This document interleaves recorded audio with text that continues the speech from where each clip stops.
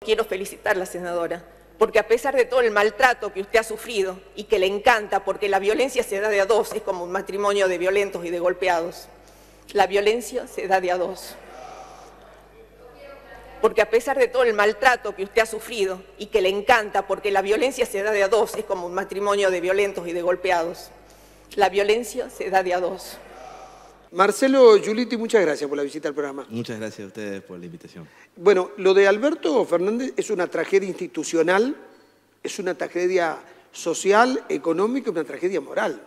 Son varias tragedias a la vez, ¿no? Sí, eh, es que, que justo la figura presidencial se ve involucrada en un escándalo y, que tenga esta, eh, estas consecuencias, eh, particularmente encima con los detalles, ¿no? lo, morboso de, que es en su relación de, pareja, de que es violencia de género, eh, tener a la máxima figura presidencial en eso, más allá de ser un, como un problema que, tiene que atender la justicia como en forma urgente y, en forma ejemplificadora, creo que es sí, una tragedia institucional porque nos pone en jaque a la figura presidencial. ¿no? Este, eh, eh, la figura presidencial en nuestro sistema es la única eh, que es votada por todo el país. O sea, es la única que se vota en una circunscripción uninominal. Entonces, es aquella que tiene, y, y en la única donde de verdad, verdad, todos los votos valen uno.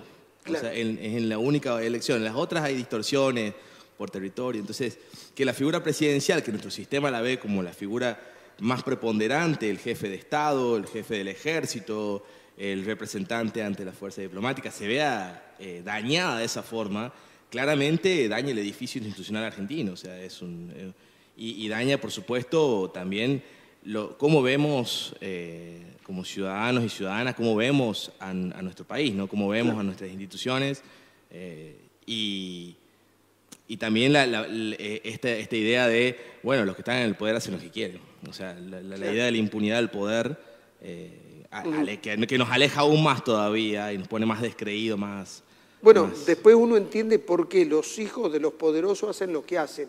Siente que su padre lo va a poder llevar a la impunidad. Sí, Esto que eh, vos decís cómo se transmite.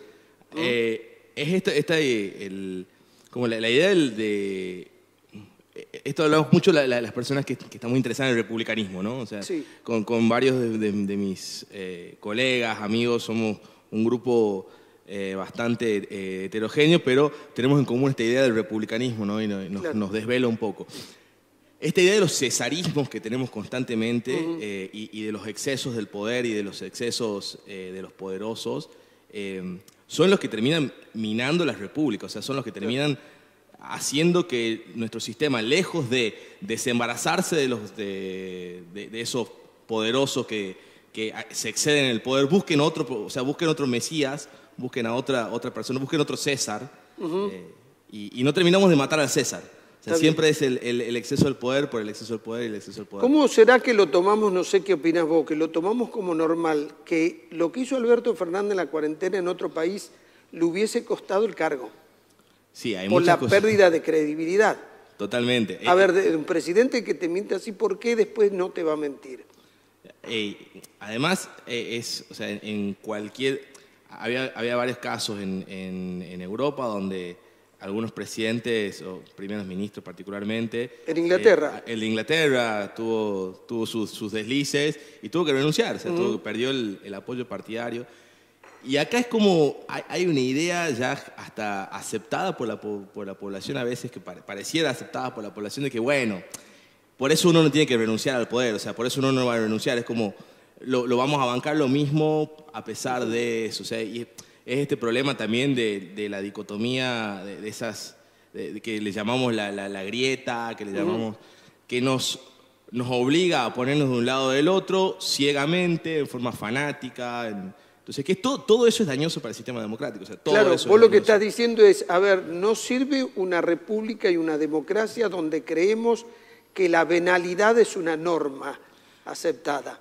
Porque lo que vos decís, el presidente encarna los ideales democráticos que están relacionados con la ética, porque todas las normas dicen, si lo cuidás a la persona, si cuidás la vida, cuidás la libertad, son normas éticas que se transformaron en normas jurídicas. Exacto, y, más allá de, hasta de normas éticas, son ya parte de nuestro sistema eh, constitucional. O sea, nuestro sistema constitucional tiene eh, como valores la ética pública, tiene como, o sea, tiene valores republicanos nuestro sistema constitucional.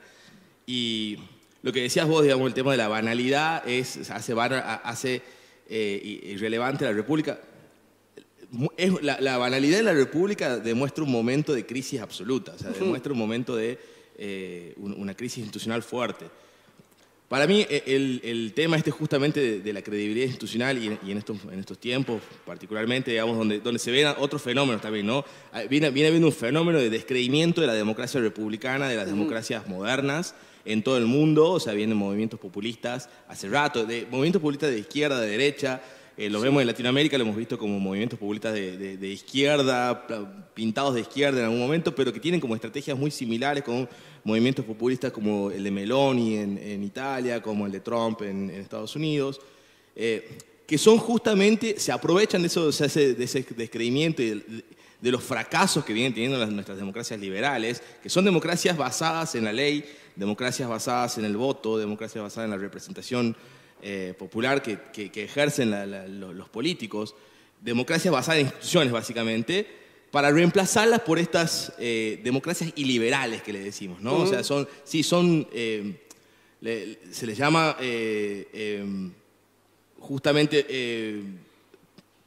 democracias plebiscitarias, porque intentan hacer un vínculo directo entre personalistas, entre, entre líderes, que, no es algo nuevo, digamos, ¿no? tiene, tiene mucha historia eso ya. Sí. Pero justamente el, problema nuestro es que venimos, estamos en un punto histórico justo de quiebre eh, y de ruptura de, eh, y de fracaso en muchos casos de las democracias liberales que hemos recuperado, que en la mayoría de los países, digamos, por lo menos del hemisferio sur, fueron recuperadas del 80 en adelante y que en otros, en otros países, bueno, del 50 en adelante, digamos, posguerra. Y, y ese, eh, o sea, el, desafío histórico, digamos, de ahora es justamente, bueno, cómo sostenemos la credibilidad de un sistema que a todas luces ha mostrado defectos, ha mostrado fallas, eh, pero que sin embargo sigue siendo el mejor. O sea, e, eso, es, eso es algo que no tenemos que olvidar. Bueno, me, interesa este punto al que ya, primero tu análisis, es decir, cuando se debilita la democracia, nacen las otras experiencias que no son buenas.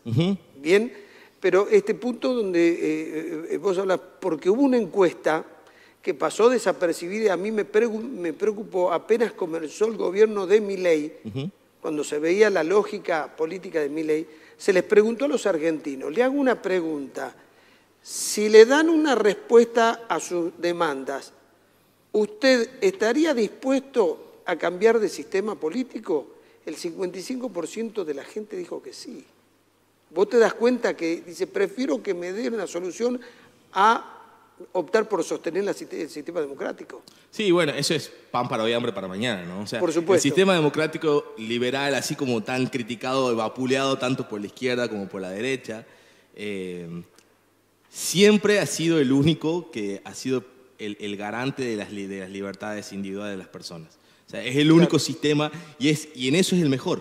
O sea, eh, ahí está y, de vuelta, es el único sistema donde uno, donde cada uno vale igual a uno. O sea, es el único sistema que hemos encontrado de una igualdad formal al menos, donde tenemos la misma posibilidad de incidir en el, resultado final de quién va a ser la persona que nos gobierna.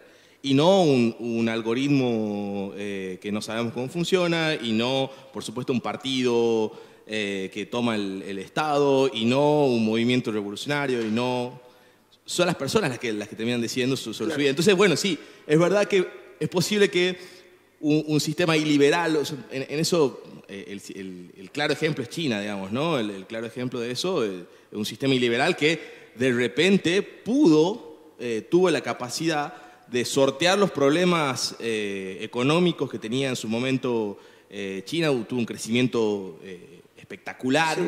Eh, tuvo un sistema de eh, libertad de mercado, entre comillas, y pudo sostener calidad de vida, pero sin libertades individuales, por supuesto, o sea, a, costa de reprimir estudiantes, la, represión de ciudadanos controlados y todo esto. un control absoluto del Estado y hoy en día más, más todavía más férreo. Eh, pero bueno, es eso. ¿Ha resuelto problemas? Sí. Ahora, ¿es mejor que un sistema, que, un sistema de democracia liberal? No, claramente no, porque ahí ahí es donde está el, punto donde tenemos que defender, digamos, nosotros los... Bien, y, aquí quiero cerrar la nota. Esto es lo que vos decís. A ver, Desde el momento que decidimos vivir en sociedad, el mejor sistema político para garantizarnos la vida, las libertades, el crecimiento y el bienestar es el sistema democrático.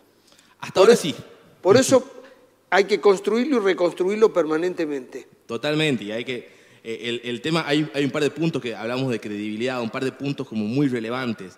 Eh, el primero, que, que son, es, es, algo medio básico, pero bueno, lo vemos en, en, en casos como Venezuela, la competencia electoral, digamos, uh -huh. tiene, que, tiene que existir posibilidad de competencia electoral, tiene que existir calidad institucional, o sea, tienen que existir instituciones que respondan a las demandas de la ciudadanía, que sirvan para eso y que respondan a eso. Y el tercero, esto es un punto quizás que algunos demócratas no lo compartirían, pero me, yo que soy un poquito más deliberativista, parece importante, un espacio público de deliberación uh -huh. eh, que es eh, que sea robusto, donde las personas podamos discutir los temas públicos claro. eh, y no que sean partidos Boca River. O sea, uh -huh. no, no, no todo tiene que ser partido Boca River, hay muchas cu cuestiones que en una charla desinhibida podemos tranquilamente ponernos de acuerdo y otras que son desacuerdos que están ahí, que los veamos, pero que no nos llevan a la enemistad, digamos. Eso, Bien. y eso es muy compatible con la República. O sea, eso es lo, lo, más compatible con el sistema republicano. La tolerancia y la convivencia. Exactamente. A pesar de las diferencias. Totalmente. Bueno, Marcelo Giulitti, muchas gracias. ¿eh? Muchas muy, gracias. Muy interesante tu planteo. Muchísimas gracias. Ya volvemos.